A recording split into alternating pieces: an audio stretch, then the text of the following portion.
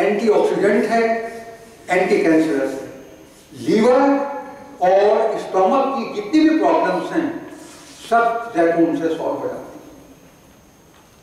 इसलिए अल्लाह ताला ने इस रफ के बारे में कितनी जगह पे आया ये आप उसको देख सकते हैं।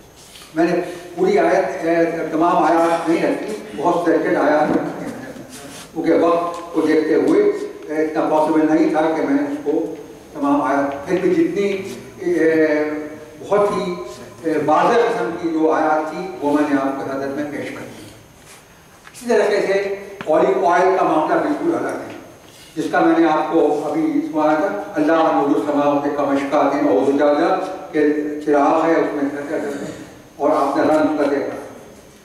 जैतून के तेल का भी अजब मामला है, और मेरा पर्सनल एक्सपीरियंस भी है और आप अगर करना चाहें तो देख लीजिएगा। जैतून का तेल इतना जल्दी एब्जॉर्ब होता है बॉडी में कि कोई लगाते रहिए जैतून का तेल का जरा सा आप लगाइए it is definitely important joint pain के लिए हालाँकि डॉक्टर्स ऑर्थोपेडिक्स वाले मालिश को मना करते हैं। लेकिन मेरा पर्सनल एक्सपीरियंस है पर्सनल मशाहिदा है कि डॉक्टर अब्बास खान साहब थे, बहुत फ़ेमस ऑर्थोपेडिक्स के। हाल हो गया उनका भी दस पंद्रह साल पहले। कि बाद chairman of orthopaedics the top orthopaedics in India वो इतफाक से उस जमाने, में भी लीबिया में गंगाजी में था, वो भी पहुँचे थे। वहाँ उन्होंने बताया, हम लोगों का जो फ्लैट था वो अर्जो जैतून जैतून के बहुत ज़रूरत थे वहाँ। कहने यार यहाँ तो बहुत तो उस पर वो बताने लगे कि जैतून के तेल में अगर काफूर मिलाकर आप हल्की सी मालिश करें। मैंने डॉक्टर साहब, आप लोग तो मालिश को बहुत मना करते हैं। कह रहे यार, वो करते हैं। लेकिन ये मेरा एक्सपीरियंस है। घुटनों में कहीं भी दर्द हो, आप कीजिए, पाँच से दस मिनट के अंदर अंदर वो अब्जॉर्ब होकर उसको ठीक करते और मैं उसको दूसरे नज़रिए से देखता हूँ, वो तो खैर मेडिकल हो गया। जो सूरह दूर की जो आयत है, उससे बिल्कुल मुताबकत मुशाबत अल्लाह समावत समझकार और तेल मतलब उसका का तेल, उसकी वैल्यू है। ग्रेप मालूम है आपको इसमें भी तमाम पैसे मौजूद हैं। बहुत न्यूट्रिटिव है और आपने देखा होगा थोड़ा सा भी ज़रा सा थके हुए हैं आपने, चंद अंगूर खा लिए क्यों? क्योंकि ग्लूकोज है और ग्लूकोज फ़ौरन बॉडी में ग्लूकोज भी या फ्रक्टोज भी है कपास देते हैं। दोनों बॉडी में बहुत जल्दी एब्जॉर्ब हो जाते हैं।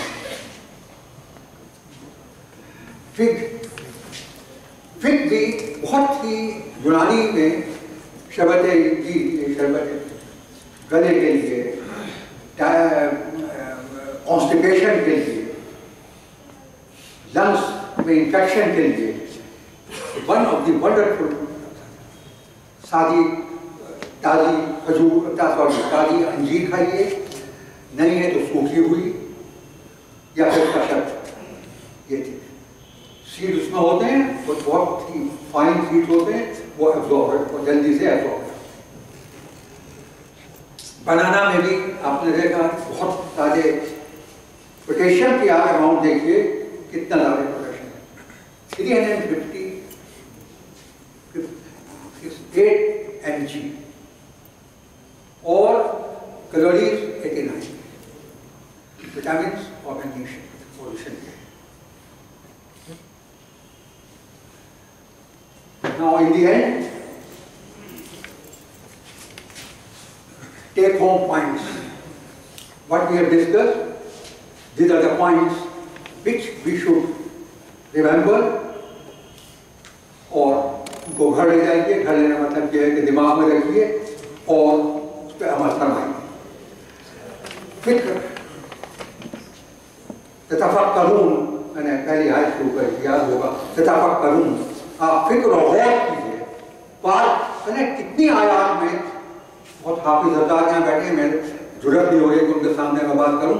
लेकिन बहरहाल तफक्करून का लफ्ज बार बार इस्तेमाल किया गया है। यानी गौर और फ़िक्र की।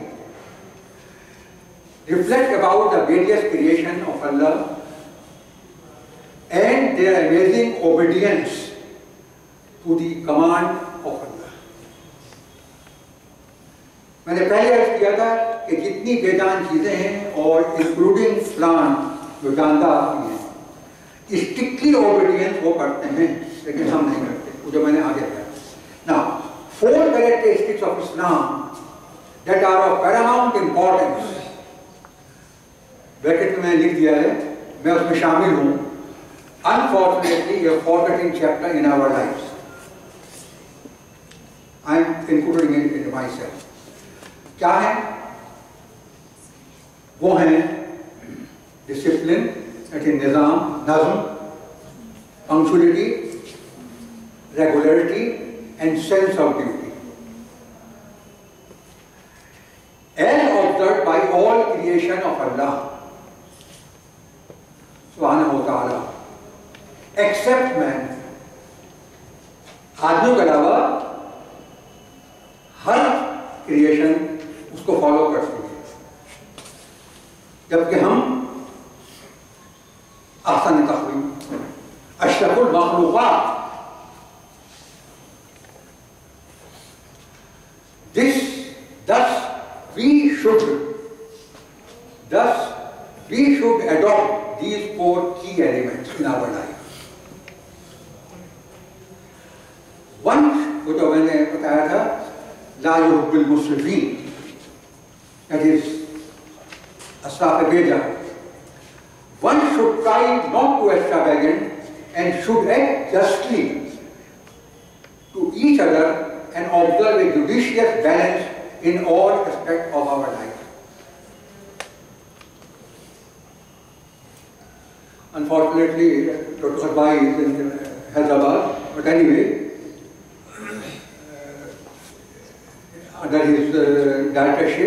providing the wonderful opportunity to present this lecture as a part of the evening lecture series. Mr. Ashad Iqbal Sahab, the program coordinator, and the support staff, and Professor K of at Professor K. Nizami Center of Quranic Center for excellent audio video arrangement. All of you are distinguished audience for their patience.